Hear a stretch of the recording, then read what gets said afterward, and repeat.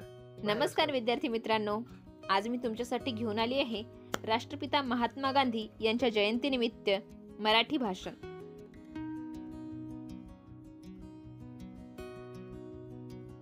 आदरणीय व्यासपीठ ईश्वर तुले गुरुजन वर्ग आणि माझ्या बालमित्रांनो. आज मी येथे राष्ट्रपिता महात्मा गांधी यांच्याविषयी दोन शब्द बोलणार आहे. ते तुम्ही शांतपणे ऐकून घ्यावे ही माझी नम्र विनंती. मला या ठिकाणी भाषण करण्याची संधी दिली व मला मार्गदर्शन केल्याबद्दल मी माझे वर्ग शिक्षक व मुख्याध्यापक यांची आभारी आहे. महात्मा गांधी म्हणजे भारतीय स्वातंत्र्य लढ्यातील एक कर्तबगार आणि थोर नेता.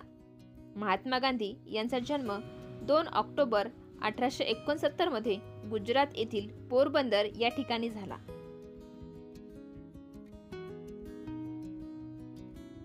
त्यांचे वडील राजकोट संस्थेचे दिवाण असल्याने त्यांनी गांधीजींना चांगले शिक्षण दिले.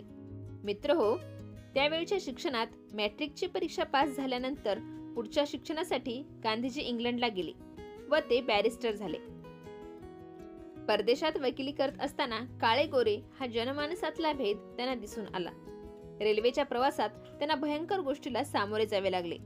आगगाडीत कोणत्या वर्गात काळ्या लोकांनी बसायचे हे गोरे इंग्रज ठरवत असत. गोरे इंग्रज वर्णाने काळे असलेल्या लोकांवर अन्याय अत्याचार करत.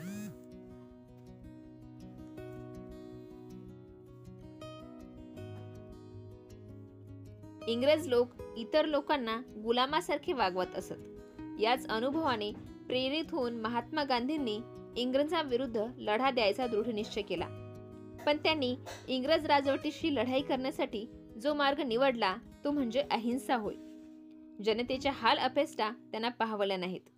भारताला स्वातंत्र्य मिळवून देण्यासाठी त्यांनी अनेक विचारांची अखंड चळवळ उभी केली. स्वातंत्र्याच्या वेड्याने झपाटलेल्या नेत्यांना आपल्यात सामील करत त्यांनी इंग्रजांविरुद्धची फळी बळकट केली. भारतातील गरिबी उच्च नीच भेदभाव अंधश्रद्धा नष्ट व्हावी म्हणून त्यांनी योग्य ती पावले उचलली.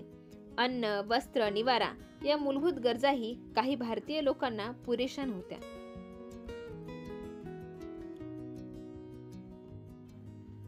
मित्र हो जनतेचे हाल गांधीजींना पाहवले नाहीत. त्यांचे हळवे हृदय देशप्रेमाने आणि बांधवांच्या प्रेमाने गहीवरून आले. जनतेला अन्न वस्त्र निवारा मिळावा म्हणून कार्य करण्याचे ठरवत स्वतःच्या भरजरी कपड्याचा त्यांनी त्याग केला. आणि सुटाबुटातील वकिली पेशातील गांधीजींनी फक्त पंचा नेसून अंगावर उपरणे घेत वावरू लागले. जणू त्यांनी शपथच घेतली होती. मायभूमीला स्वातंत्र्याचे वस्त्र परिधान करायचे. एवढेच करून ते थांबले नाहीत. त्यांनी इंग्रजांविरुद्ध अनेक आंदोलने छेडली. अनेक सत्याग्रह केली. इंग्रजांच्या जुलमी कारभाराचा निषेध केला. त्यांच्या साध्या राहणीमानाला आणि उच्च विचारांना भारून जनता त्यांना महात्मा राष्ट्रपिता म्हणू लागली. त्यांच्या विचारांनी प्रभावित होऊन जनता रस्त्यावर उतरली. गांधीजींनी छोडो भारत सायमन गो बॅक अशी आंदोलने छेडली. वेळ प्रसंगी गोऱ्यांचा लाठीमारही त्यांनी सहन केला. पंधरा ऑगस्ट एकोणीसशे सत्तेचाळीस साली आपला भारत देश स्वातंत्र्य झाला. गांधीजींनी शस्त्रही न उचलता लोकशाहीच्या मार्गाने सरकारला धारेवर धरता येते हे त्यांनी जगाला दाखवून दिले. अशा शांततेच्या मार्गाने लढा देणारा थोर महापुरुष आपल्या देशाला लाभला हे आपल्या सर्वांचे परम भाग्य आहे. अशा या थोर नेत्याला माझे कोटी कोटी प्रणाम. एवढे बोलून मी माझे छोटेसे भाषण संपविते. जय हिंद जय भारत.